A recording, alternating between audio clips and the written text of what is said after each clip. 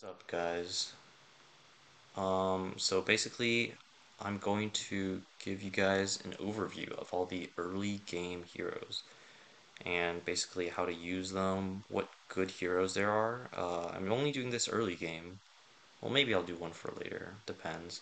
But uh, basically early game you don't have that good of a grasp of the game, so I feel like I can give some pretty good pointers and later on you should be able to use your own judgment. So without further ado, let's get started. So first off, the first thing you need to know, I'm not going to be touching the URs. I'm going to be ignoring them for now. She'll talk each of them very briefly, just say what they do or whatever. But this is because URs take a bunch of resources to invest in, so I recommend you just ignore them for the early game. Let's see, Nobunaga, okay. Um, there might be ones I missed, but okay, Typhon, but we'll leave it at that. If I see another UR, I'll just put them in. So Lucifer, this guy right here, he has lifesteal, dodges, he's a DPS, and he is good in PvP. Amaterasu. Amaterasu is one of the best PvP heroes. She can reflect damage onto her, and she does very high damage with her auto attacks. Uh, Nuwa, Nuwa just buffs your team. Uh, she's a support. Prometheus just deals a ton of damage. He's a mage. Lilith is another mage. She nukes your team, the enemy team. Dangan gives a bunch of random buffs and can help you spam active skills. Marduk is a tank, but he's actually a DPS in a trench coat because he uh, basically assassinates people when they're low and he can chain kill your entire team. Nobunaga, he just does a load of AoE damage, just like Prometheus, and he has a bit of survivability too. And Typhon basically tanks for your team and revives them as snakes when they die. Alright, so now that we've got that over with, um, I'm going to be talking about the SSRs. So, uh, excuse the barking noises if you can hear them. Neighbor's dog. Anyways, so the SSRs, how I'm going to be basically talking about them is um, how they do to help you progress in campaign to get you all the unlocks. It's very different from late game campaign because late game is like more consistent damage, but the early game is like burst, burst, burst. You know, burst the enemies down and then get your unlocks as soon as possible. And I'm to also be considering PvP. Uh, no Champions Arena, no Void Invader. Those are a little more advanced. Um, but yeah, without further ado, let's get started. So Zeus. Um, Zeus is the first SSR you will get, and he's surprisingly good for the first SSR. Like many games in the beginning, you're gonna get some trash, some trash like beginner, I don't know, beginner hero or something. But he's actually pretty okay. Early game, I would not say he's the best. I'll put him B tier for now. He does a lot of AoE damage, and he's a nuker. He is very fragile though, so he's definitely not the best. And there are a couple, uh, there are a couple heroes that outshine him. Athena. Athena, uh, she is a really really good tank. Uh, in early game, however, the most important heroes are um, are your carry. Okay, so you're like the hero that you're using uh, for your DPS and who's supposed to carry you through the game. Your highest level hero. You're supposed to level them uh, 20 to 40 levels higher than the rest of your team. And she is not a carry, so that's why I'm putting her in A tier. But she is very good. She can keep your team alive. Uh, she can reduce damage done to her to 1 for a very small period of time. It can activate every 8 seconds. Uh, she can block damage for 2.5 seconds or reduce them to 1. She can do healing, she can heal your team, stun enemies. She's overall a very good tank. Alright, Susanoo. Susanoo, okay, so um, right here, uh, before level 181, he's actually pretty mid, so I'm going to take points off, but he's such a good carry that he's still probably going to pretty high A tier. Um, he basically he is the premier assassin in this game. He is uh, he deals very high single target damage. Uh, he is very squishy in the beginning, so you gotta watch out for that. But uh, he can, you know, blink to the back line. So he basically, the person opposite of him in the formation, he'll like teleport to, deal massive damage, and then stun. So he's overall a great carry to invest in if you'd like to, but please note that, you know, uh, before all his skills are maxed out, like unlocked, uh, he will not be as effective as he could be. So that's why I'm not putting him in S tier. Uh, actually, I'm gonna put like a force build, like near force build tier for like all the uh, all the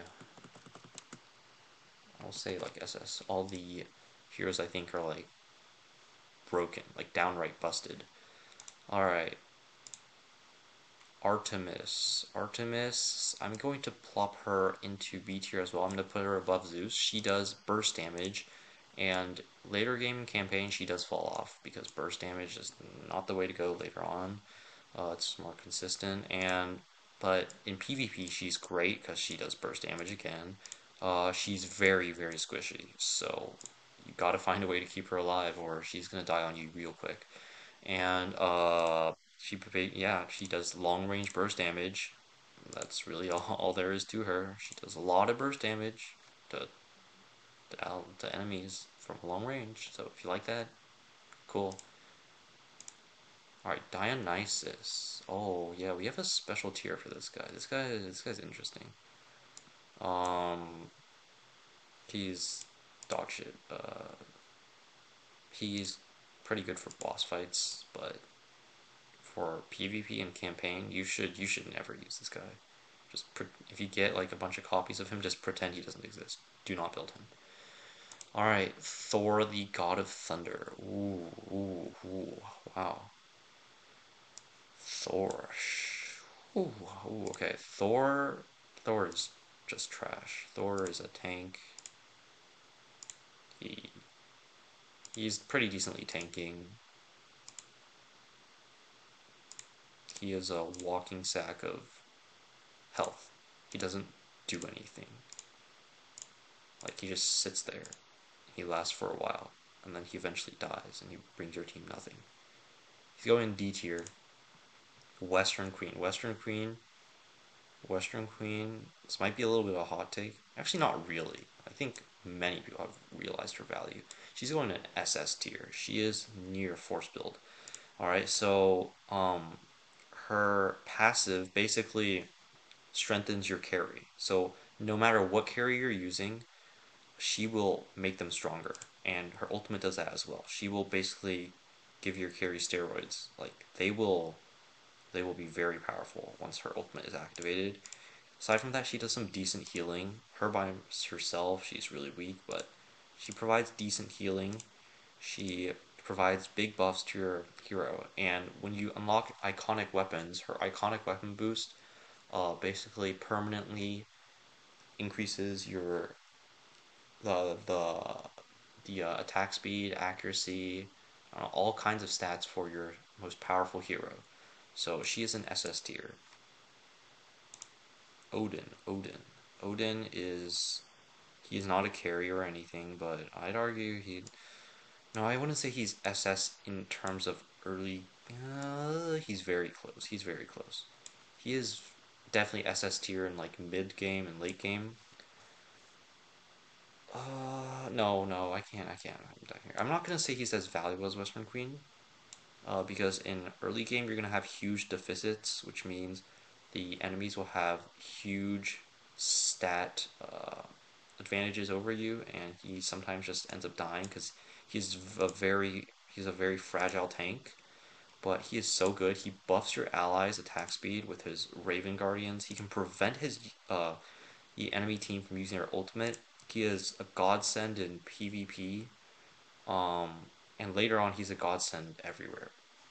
Uh, and he also makes some units work, which I will go into very soon. Anyways, Let's go to Gabriel. Gabriel. Gabriel is uh, she's okay. She's not she, she's a mage, but she's not really that big of a damage dealer. I'll put her in pretty high B tier. She because she does help keep your team alive. Um, she gives a she gives a uh, what do you say? It's like a water curtain which decreases damage done to your team. Um, and she can, you know, reduce enemies' attack speed, give your team some good shielding. So yeah, she's pretty good, I'd say. Apollo, Apollo, Apollo. Apollo is just Apollo. Apollo is early game wise, he is probably the best carry in the game. Actually, uh, yeah, I'm gonna put him in SS tier. Um, I'm not gonna put her above Western Queen because Western Queen is so versatile. She works for all carries, right? But Apollo is is uh he is um how do I put this? Okay, so if you know if the other DPSs in Mythic Heroes were like little dudes with rocket launchers, Apollo would be a fucking tank, okay? Like, not only does he deal damage, but he is damn near unkillable. He has infinite shielding, infinite um, defense increases. He is so tough to put down. He'll just live and destroy the whole team on his own. He's exactly what a carry should be. Self-reliant, he doesn't rely on his allies. He just goes ham on the enemies and he lasts for a long time. He deals a lot of damage. SS tier. Aphrodite. Aphrodite, she got a buff um, recently, but she's still not that good. I'm gonna put her in C tier. She does healing. She does um, shielding, but she's not the best shielder. She's not the best healer. She's just not the best at anything. Yeah, nah, nah, yeah, nah. I don't like her. Persephone. Persephone, later game I've seen her do some big numbers, okay, to be fair, but early game she's probably gonna be a C tier. She's a she deals damage and she also does help keep your team alive with resistances. I'm gonna put her in B tier just in like you can like use her without building her, right? Just for that passive which decreases the physical damage taken. For D B tier above like above Aphrodite, but you should not be building her as your main DPS. She is not, you know, main DPS material early on. Right, Izanami. Izanami, I'm going to put her in early game. In terms of early game only, yeah, because I'm ranking only by early game, right? Later on, she does fall off. But early game, I'm going to put her in a solid S tier, or a S tier. She is really good at keeping herself alive and deals a lot of he, she, uh, she, she's good at dealing like spread damage. She does a lot of damage cumulatively, but single target wise, eh, not really. But to the entire team, yeah, yeah. And the thing about her is she is uh, very good at keeping herself alive, just like Apollo. Not as good as Apollo is at keeping herself alive, and she doesn't deal as much damage either.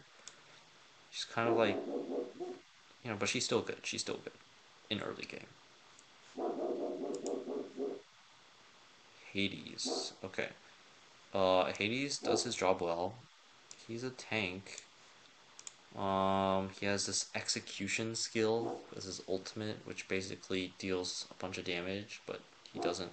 He's like a tank. He's not damage. He's not. He's no Marduk, but basically can execute if the target's health is low. This is mainly useful late game he's still okay in early game, right? He he does his job. He tanks. He can summon a Hellhound to help him. Mm, he's just he's just okay. Nothing really else to say. I'm gonna put him under Gabriel, which is not as good as Gabriel.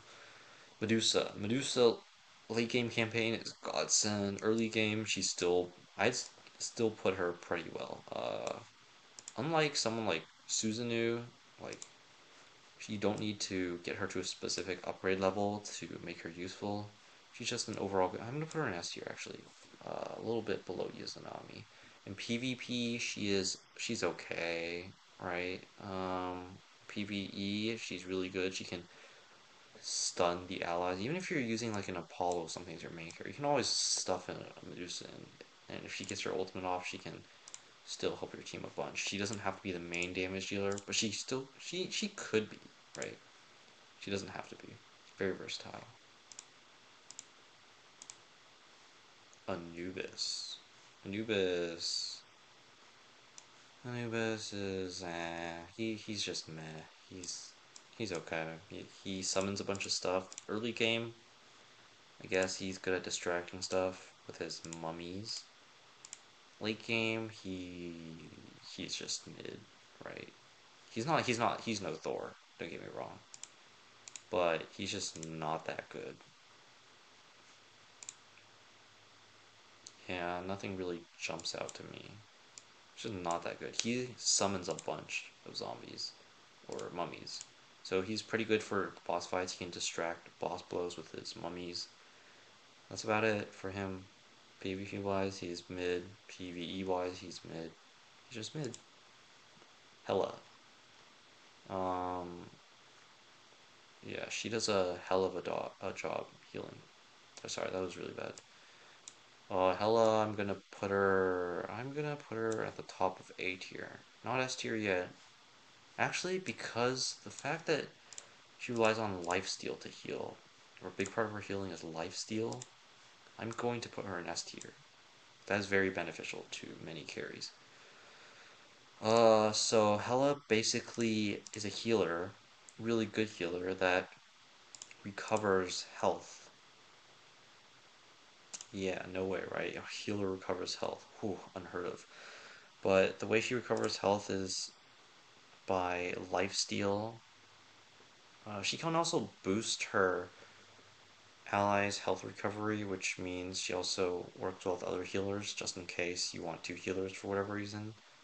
She's just good. She has a circle basic reading uh, skill at the beginning of the battle, which reduces damage. She can keep your carry like Apollo or something long enough to get them going, because at the beginning of the battle, uh, if you're at too high a deficit, Apollo can just die immediately, and you don't want that. So, yeah, she's a pretty good way to prevent that.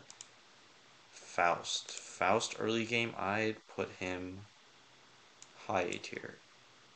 Thing about Faust is he's usable with no investment whatsoever. He can be as a com he can be a kamikaze suicide bomber and he'll work just fine. So for early game, all you need to know is that when he dies, he releases his ultimate, and when he releases his ultimate, he goes boom. And he also, at the beginning of his battle, like Susanoo teleports to the hero that's facing him, right? But he actually swaps. So if there's like a really squishy, high damage uh, unit uh, in the enemy team, you can use Faust to bring them over to your side and have your carry eradicate them immediately. So, yeah, I'm putting him in high A tier. Nephthys, Nephthys is uh, she's like thing interesting thing about Nephthys is she can kind of be like a healer, right? She's like a pseudo healer, pseudo damage dealer. She's okay, right? Uh, she's very squishy on her own. I'm gonna put her a little above Anubis. But you can run water runes on her because water runes simultaneously increases her healing capabilities and her damage because her main source of damage, which is her skill number four, uh, actually scales off healing. So, yeah, the more healing she does, the more damage the skill will do. It's actually not her ultimate that deals most damage. She can actually nuke with the skill because it can stack. It says selects two allies with the lowest health and recovers their health with an amount equal to 180% of her attack, and an equivalent amount of damage will also be dealt to enemies near the targets. And at skill level 4, this increases to 3, but that's not relevant to you. All you need to know is that if the two allies are grouped together, this damage will stack. So it'll proc twice. So yeah. Loki. Loki is low-key a pretty good deep. Okay, I'll stop with these really bad jokes. Loki is really good as an early game DPS. Um, I faced him, and he's caused me my fair share of grief. He's not as good as Apollo. I don't know. I think he's better than Izanami, honestly. Um, he basically creates a bunch of clones. These clones are not weak either, alright? These clones inherit 100% of his attributes, so that's literally another Loki, right? 100% of his attack, 100% of his health, 100% of his defense. Thing is, they can't use his active skills or ultimate. That'd be way too broken. So yeah, they're like auto attacking Lokis. And he can create multiple of these. So the reason um, I'm not putting him any higher is because he has a hard counter in Odin. Odin, not only is he Luminarch, it's not really relevant because Odin's not a damage dealer, but Odin can reduce any enemy's dodge to zero, and Loki relies on dodges to create his clones. So if he's facing an Odin, that means he will not make as many clones as he would before. So on defense, I do not recommend Loki at all. On offense, I think Loki is a very great tool in your arsenal to use, and a pretty great carry as well. Morrigan. Morrigan is... Hold on, where would she go? Not Dionysus. She is the best in the game for early game. Doesn't matter PvP or PvE, Morrigan will keep your carry alive for 8 seconds after they're supposed to die. That is so busted. And the thing is, the that's not even the most busted thing about her. It's because how broken her skill is, okay? It says here, after 8 seconds, the hero dies after the target time expires, alright? Basically when your hero is supposed to die, instead they'll go invincible for 8 seconds. While this is significant, sometimes it's not significant enough. So what really breaks her is the fact that mm, this skill is broken. If your hero has some innate healing, okay, they will not die. Let's say I'm using an Izanami, okay? Izanami takes lethal damage and Meat Fate is activated. So for 8 seconds, she gains temporary immunity. She's supposed to die after those 8 seconds, but after attacking the, uh, the enemies, uh, she regenerates to her max health. She will not die. That's so unbelievably busted. Moreover, this unit also gains up to 30% extra attack. So that is just busted. Moreover, Morgan herself, she doesn't do that much, but she's pretty tough to kill. She's uh she turns into a raven when she gets low. Finally, she can reduce healing, or no, just uh, just block all healing, which is pretty good. Alright, so that's Morgan. Kamatas, she is the newest hero. Uh, many of the earlier game, sorry, early game players probably have her and are probably wondering how good she is in the grand scheme of things. So on paper, uh, so basically I've consulted with many whales and basically they're saying that endgame wise she is eh, but that is endgame. Um, and to me, she looks pretty broken. Like, I'm not gonna lie.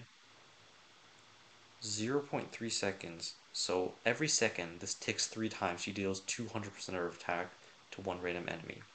In comparison, Amaterasu here, considered the best PvP hero, uh, deals like I think it's up to 70% damage per 0.5 seconds for like 6 or 5 seconds. This is so much more damage than her ultimate. Like, so much. Like, three times up. Like, three times her ultimate, considering she doesn't get ramped up. So, yeah, that's that's her ultimate for you. And, moreover, she has a bunch of healing, and she skills uh, sorry, she doesn't skill. Uh, she basically gets better with Frighten, which is very situational. The only other hero that applies Frighten is Nobunaga, so they might have some pretty good synergy. But she basically, I think she can keep herself alive decently well. So the main gripe I have against her is while she has tons and tons of self healing, and you'd think, and she has tons and tons of damage. She has so much damage. Uh, she actually um, doesn't really have any defense. Like, she is really weak in terms of pure defense. Like, let me put this way. Someone like Apollo not only can not only heal with his iconic weapon skill, uh, but he can also, you know, provide him with shields so he doesn't get, you know, one-shotted or something. This girl can heal just fine, but she is so fragile that she might just get one tapped or she might get bursted down before she has a chance to recover all that health. So yeah, I don't even think she's on here. She is the newest hero. Uh, yeah, so if I were to rank her though, I'd probably put her somewhere in A tier. Say she's pretty good, but she's not incredible. Hercules. Hercules is a walking. He's like Thor. I'd say he's a little bit better. I'll put him in C tier because he's looking a little lonely. He's like a better Thor, I guess. Both of them have this feature where if you attack them, they'll attack you back. And both of them are also really bad. So. Lu Bu. Oh, Lu Bu. Lubu. Where is Lu Bu? Uh, first off, I want to say this guy's design is so cool. Alright, this guy has the coolest design I've ever seen. That being said, he's he's straight dog shit. Um, he doesn't get better. Uh, put him C tier. Be a disgrace to put him with Thor. But he's just not good as a carry. Deals single target damage. So basically, on paper, uh, his ultimate looks like it's like a single target killer move, right? It's really not. So the thing about dealing damage many times. So uh defense, right? The defense stat procs each time he does this damage. So let's say defense removes maybe 20% damage per strike. So if he's doing 12 times 70%, uh, the damage is actually reduced 12 times 50%, which is uh, 600% damage. As opposed to this, someone like Marduk, okay, Marduk, he does all this damage in one blow, so defense only procs once. So at his max, I think he does 1600%, uh, and that will be reduced to 1550%, while this guy would be reduced to 600% from like probably like 800% or something like that. So defense procs every time he strikes, and he strikes twice, 12 times, so defense actually procs 12 times, so he does not do as much damage as you think. And he also has very little AoE, he doesn't do AoEs, just deals single target damage, that's the reason he's so bad. Alright, if some of these skills affected more than one person, he'd actually be a pretty good DPS, but as it stands, nah. GNM, GNM early game, very good. Um, interesting thing about them, they actually switch. Okay, so the uh, um, they start off as I think the girl, um, and once they release their ultimate, uh, they will transform into the guy, and they both have different abilities. I recommend you read up on them if you want to use uh, GNM. GMM falls off a little later, but their iconic weapon, 600, uh, as I've read, gives them a massive boost, so there is still hope for them yet. And the interesting thing here is that uh, their ultimate, they can only use it once per battle, but uh, after they use it, if they reach full energy, instead of using another ultimate, uh, they just recover HP. So I guess that's not horrible. But yeah, they're good at bursting. Their ultimate deals a lot of burst. So, but there it's a one-time use, so, you know, pros and cons. Putting them in S tier, they have their own little sustain. They have bursty kit, which is good for early game. So yeah. Joan of Arc. Um, yeah, I'm putting her top C tier. She's just not good. She uh, tries to be a she as a support. She's not really a support. She is a tank, but she's not that good at tanking. And all her skills are mid are very mid. Her ultimate's pretty mid. Nothing much to say. Cleopatra, early game, I think she is not usable as a DPS straight up. Later game, later campaign, some veterans do use her. Uh, she deals pretty good consistent damage. There's snakes and poison. Takes a bit to charge up her poison. Uh, but an early game, yeah, she I put her above Lu Bu. She she can deal pretty well, like with many enemies, while Lu Bu is just like single target. But she's she's just not that good. Uh, Cassandra, Cassandra, Cassandra. On the other hand, She's one of what I call the big three, along with Hela. No, sorry, the big four. Like the big four healers. Um, God, this is like okay.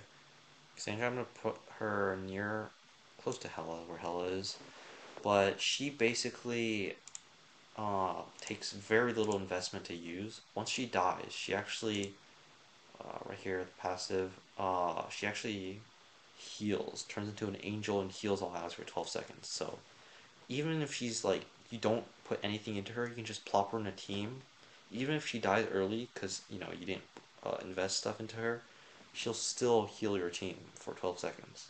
And she also reduces damage taken to all allies, which is really good, and she's just a really good healer. That's all there is to say about her.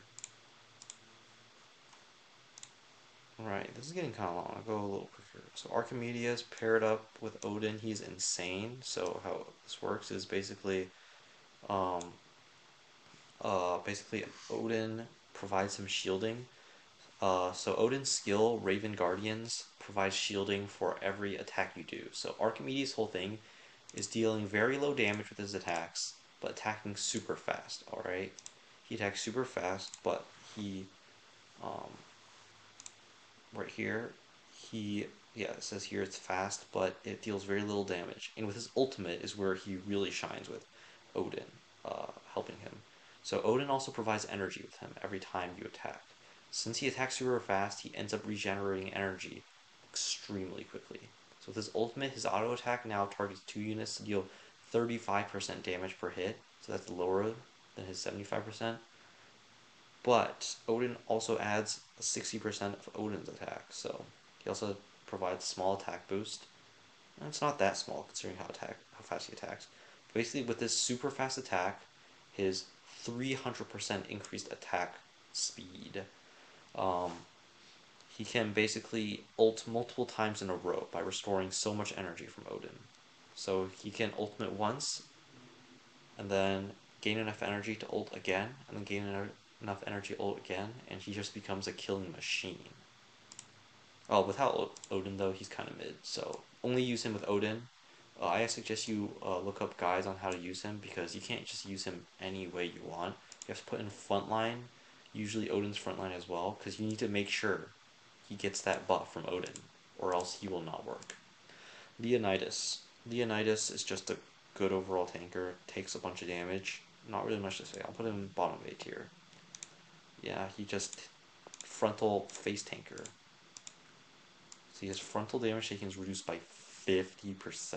So, he's just a good old face tanker. Right? You need someone to take the hits, he'll take them real well. Moreover, he has some like he has some support as well, right? But he's mostly just there to face tank as much damage as possible, and she's probably the best at it in the entire game. This guy, Yi Sun Shin.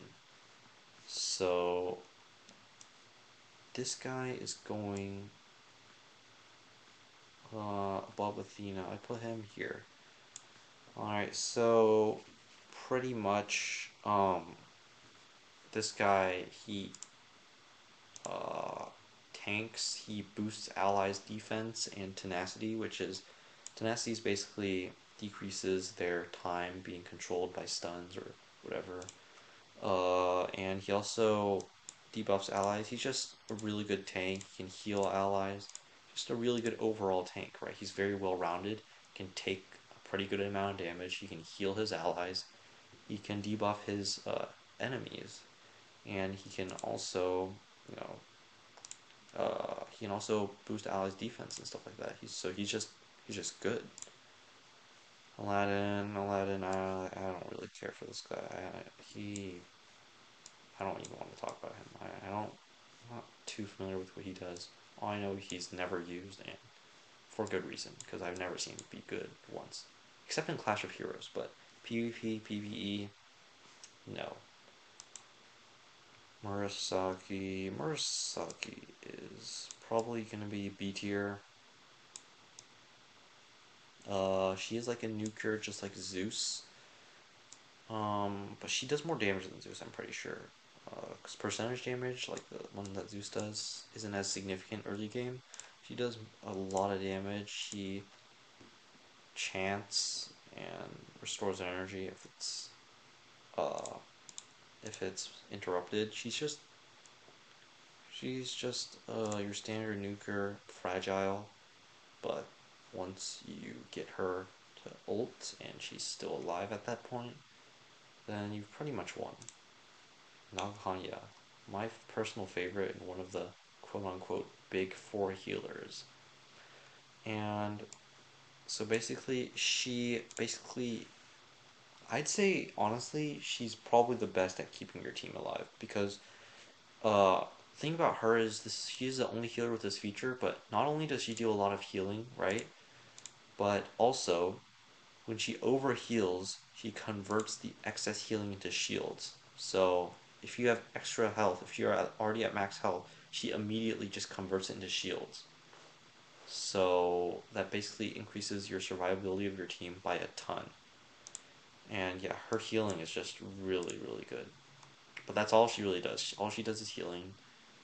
And but she's really damn good at it, so nothing to hate on her about that. Okay, so pretty controversial, but I'm putting this girl above Apollo. So in terms of early game PvP, she is a monster. Paired with Morgan, she is an absolute monster.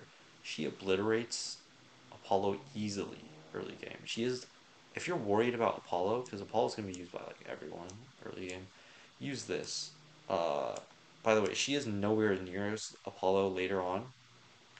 Um, I wouldn't say uh, right. He she does get worse later on, but early game, she obliterates everyone. She does the so high damage. Like she's also Verdian, and Verdian has a faction advantage against Luminarks like Apollo, but she does so much damage. And thing about her, you'll look at her and you'll figure out that she looks really fragile, and she is.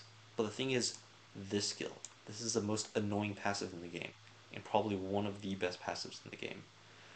Tamamo is immune to the next incoming attack and teleports to a random position. This effect can be triggered once every 6 seconds, up to once every 3 seconds.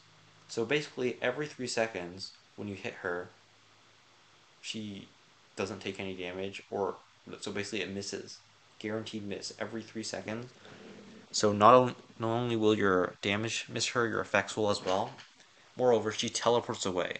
So for melee heroes like Apollo, this is a nightmare. So I've had times where I had a whole full health Apollo with like a 5% HP Tamamo, and she would just kill him easily because he attacks him, okay, she teleports away, and then he runs to him. By this time, three seconds have already passed, okay, so he tries to attack her again. She teleports away again. And then by the time he runs to her to attack her one more time, she already has her three seconds up one more time. And then she just kills him. So yeah, really annoying to deal with. Very annoying paired with Morgan, gives her a second life.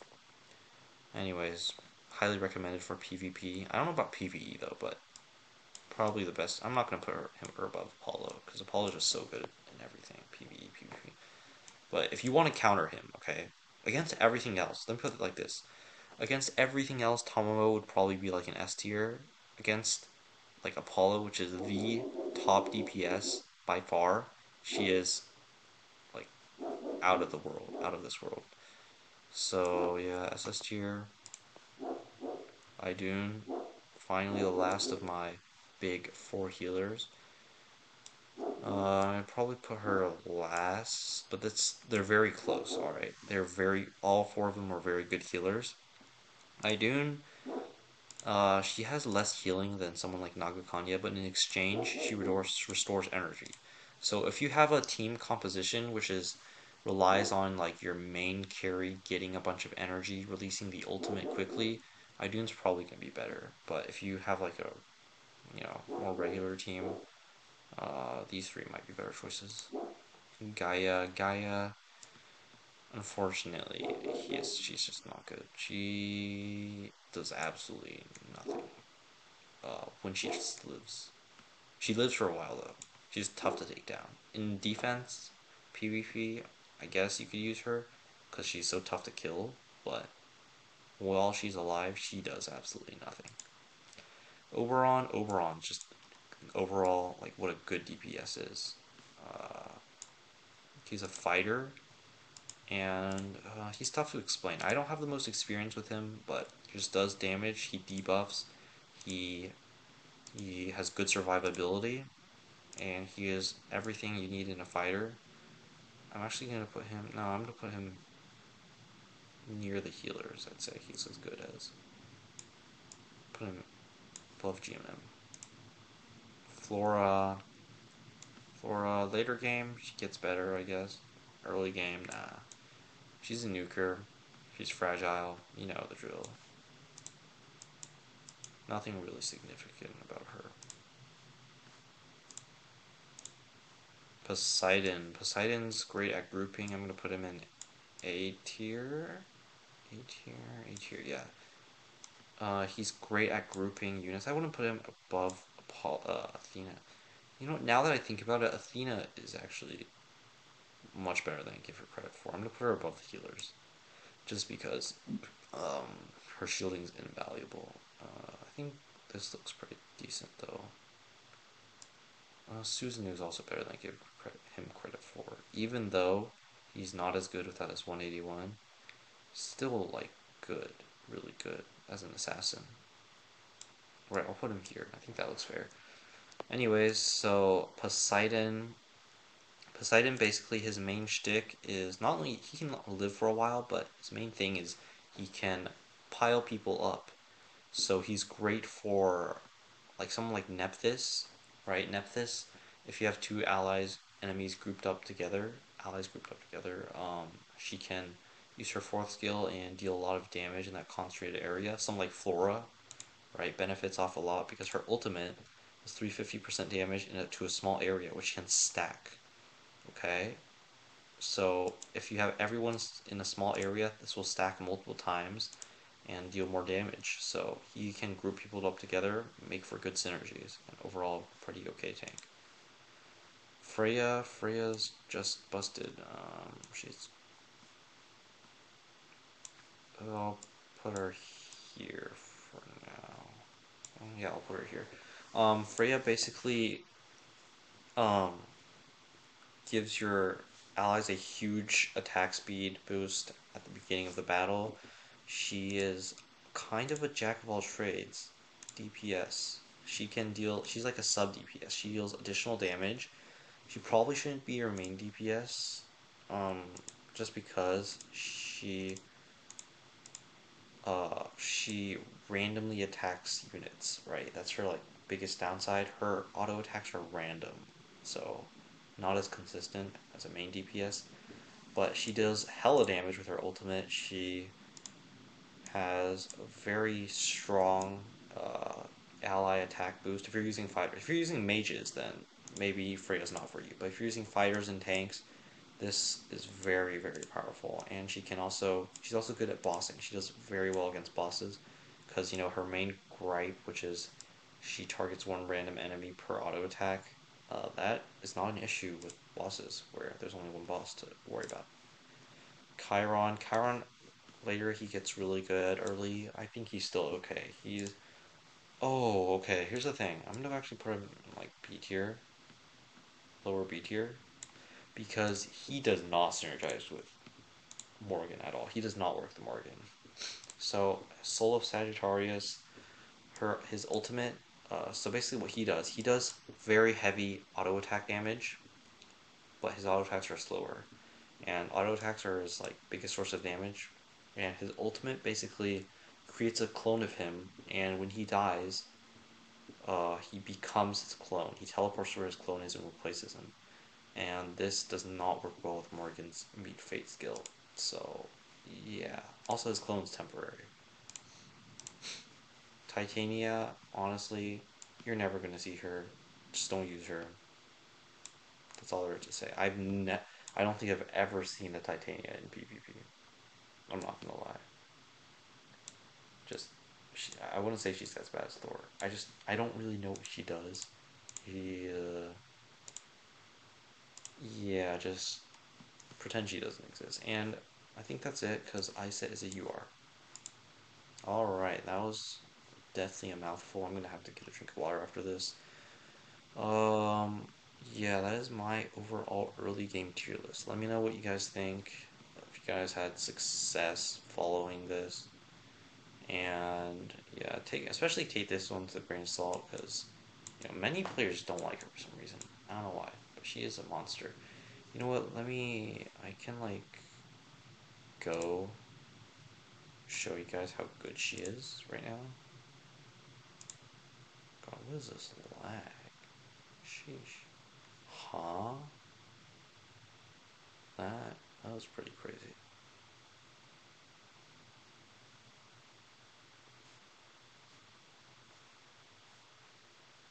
Um, you know, I was gonna show you guys something, but looks like the game is not appreciating that. So, yeah, never mind. But I was gonna show you some on my friends list, the stupidly powerful Tamamo, which is obliterate my whole team on like her own. But you guys won't be seeing that, unfortunately. So, yeah, uh, this is very interesting, opinionated tier list, but hopefully it will help you in your early game journey. And as always, thanks for watching.